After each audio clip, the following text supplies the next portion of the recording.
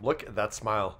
Yeah, the Grammy audience inside the arena and the Grammy audience at home was very happy that Variety's report from last week that said Tracy Chapman would perform on the award ceremony turned out to be true. Taylor Swift was on her feet singing along, while Meryl Streep was just, I didn't think of a new word, I think I'm gonna go with engrossed.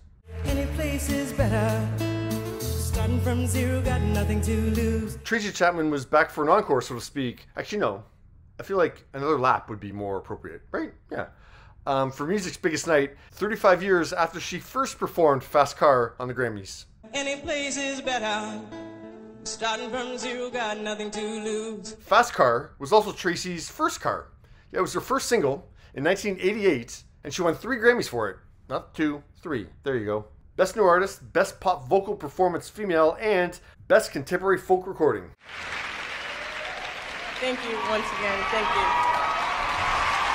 The song was back on people's radars in 2023 because of Luke Combs' cover of the track that was two years older than him. The success of Luke's cover has meant that Tracy has some additional, you know, cool bragging rights, like being the first black woman to top the country airplay chart with a solo composition. And the CMA award for the Song of the Year goes to Fast Car, Tracy Chapman. And the first black performer to win Song of the Year at the CMA Awards last November. So yeah, very cool. I love that she's getting her flowers. And that includes this Grammy performance. Jelly Roll and War and Treaty were singing along. Lainey Wilson was super zoned in. And Taylor and Meryl still in it. Be myself, I got nothing to prove. But beyond all the accolades and the awards, blah, blah, blah, I wanted to know today is Tracy getting paid for this? And yes, she is. You just have to, you know, pay the royalties to the writer to do a cover, right? 'Cause I don't own the publishing on it. Yeah, Tracy owns all the publishing rights for Fast Car. No need for Tracy's version for this song. No, no, no. Billboard reported last July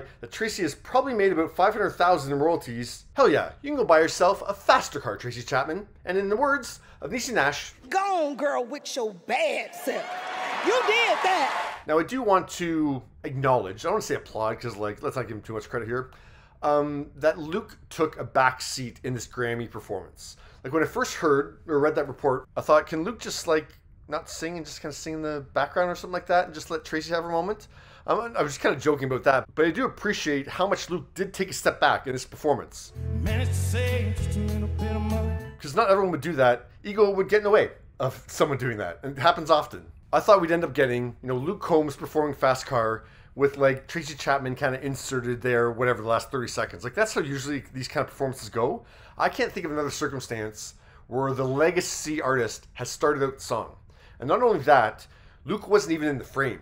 That first frame that was very long, um, yeah, you don't see him in that shot at all. So I thought that was, I mean, for me, it was very pointed because that's what I wanted to happen. That's what I wanted the um, level of respect for Tracy Chapman to be at, and that's what I got. And I thought that was amazing. Now, Billboard and I had somewhat of the same assessment of the performance, but they said that Luke gave the spotlight to Tracy Chapman. No, no, Luke Combs did not give the spotlight to Tracy Chapman. It wasn't his to give. But Luke shared that headline and wrote on his Instagram story. I'll have more to say about last night when I've had the chance to process it. All I can say now is thank you, Tracy, and thank you, Recording Academy, for letting me be part of a truly remarkable moment. I'm very thankful. You got a fast car. I got a job that pays all our bills. Luke has talked about how foundational that song is to him, and it was super cute to watch him mouth along the words several times when Tracy was singing. And it seemed like at one point he didn't want her to see that he was doing that, so he quickly like turned away when she looked over at him. But yeah, I love the fanboying out. Now this live performance ended up being pretty split equally in terms of vocals.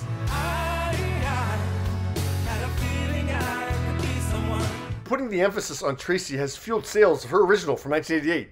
We're like three quarters of the way through Monday, and her fast car is number two on iTunes in Canada, ahead of Luke's cover. Wise choice. I don't mean to sound harsh, but I really have no idea why someone would choose to listen to Luke's version over Tracy's. Like Tracy's voice is so unique. Like she has such an interesting way of phrasing. Luke is like so generic. Like summon any country male artist into that role, other than like Chris Stapleton.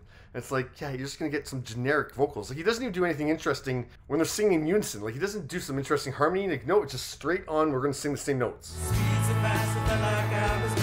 Anyways, Tracy sounds fantastic. She's going to turn 60 next month. Her inner voice sounds just as good as it did, if not better, than before. The legendary Tracy Chapman, everybody. But hey, if you've got Oprah and Kelly Clarkson standing up and hollering for you at the end of your performance, I'd say your car is running pretty dang well. And I'm sure some people were clapping for you too, Luke. But I think, Tracy, you've given Luke a ride long enough. But what do you think? I'm not, I don't mean to be harsh on Luke Combs, but come on here. Come on. So, what did you think of Tracy Chapman's first live performance in nine years with Luke Combs on Fast Car?